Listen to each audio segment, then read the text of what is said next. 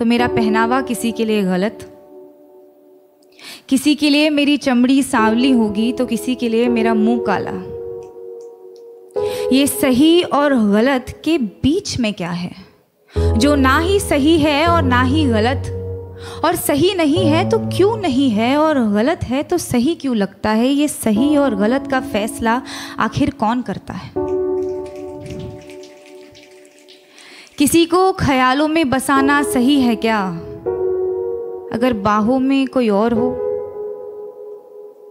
और जो बाहों में है, वो सही नहीं तो जो ख्यालों में है, वो गलत कैसे?